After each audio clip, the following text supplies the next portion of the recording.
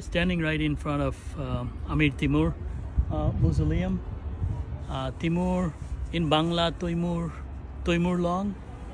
So I learned about this guy a little bit, and I'm not a historian again, but whatever I learned, uh, we'll be getting inside, and few places will be telling some of the story of Timur.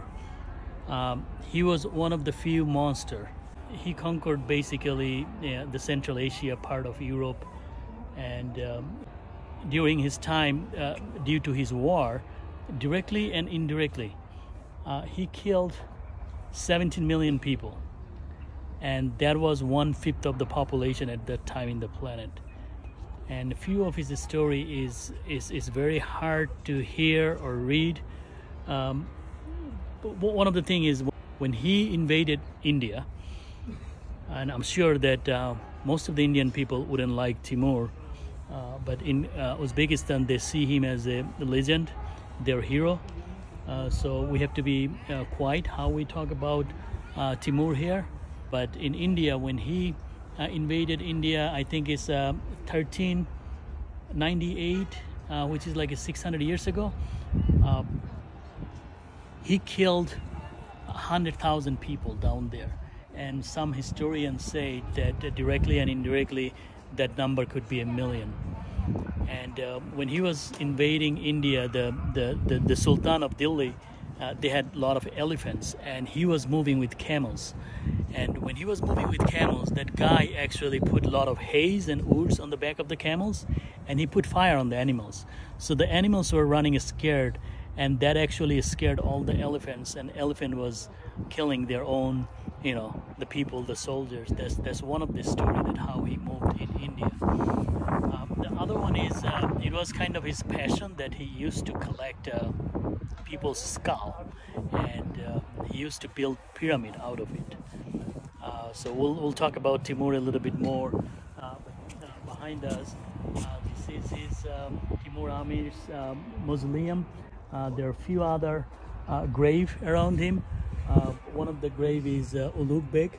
Uh, he was his sultan and he was actually a very talented guy, astronomer, and uh, you know he's a famous uh, mathematician, and I believe he he worked on a lot of uh, trigonometry.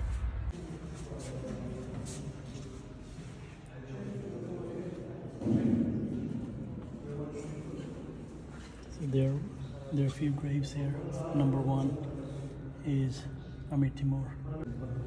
Uh, so we are inside um, Amir Timur's mausoleum. Uh, there are a few graves here, right at the center, the black stone, that's Timur. And uh, the white one in front of him is uh, Beg. He killed a lot of people, so I've been telling some of the stories. The second story that I wanted to tell about Timur is um, at some point he actually conquered uh, one of the Ottoman Empire. His name was Bayezid and uh, that guy was naughty too. They have been exchanging bad words against each other, and uh, Timur killed his son. And that guy actually threatened him that he's gonna gang rape his uh, Timur's wife. Anyway, when Timur invaded um, uh, that Ottoman Empire and um, caught him actually, and get that guy uh, back to Samarkand, and he put him in a barred cage. And when he put him in a barred cage he put that cage right in front of the his living room where during his state dinner um, he made uh, Bayezid's wife stay naked. And um, she was serving food to Timur's guest. And it was humiliating for Bayezid. And one of the stories says that he actually committed suicide uh, hitting his head in the cage and that's Timur. And uh, uh, the other story about Timur is, uh, I believe it's in Turkey. Uh, when he invaded Turkey, part of Turkey, he promised, after getting the land, he promised uh, there wouldn't be any bloodshed. And that guy kept his promise because he didn't actually butcher any one of the men in that land, but he buried 3,000 men alive. So that is Timur.